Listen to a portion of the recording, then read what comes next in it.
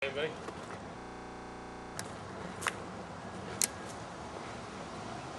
Oh, do. Do it right now?